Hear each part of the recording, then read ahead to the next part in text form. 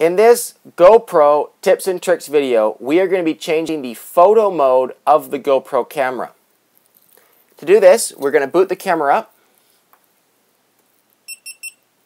then use the mode button to scroll through until we get to the settings menu. Use the select button to enter the settings menu. Then use the mode button to scroll through until we get to the photo or the screen that looks like this. Uh, it says below it 8 megapixels and it's currently set at medium.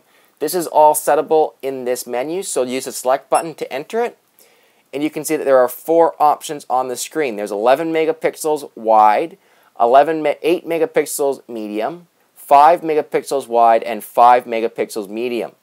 The wide and medium are referring to the field of view options. Uh, wide is 170 degrees and medium is about 120 I'm sorry 127 for the medium option.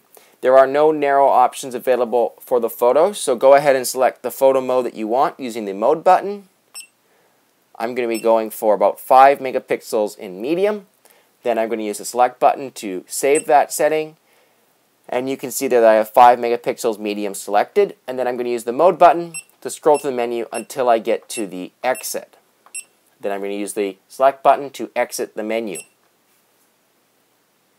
Now if I use the mode button to scroll to my photos, you can see that it says photos are medium at 5 megapixels.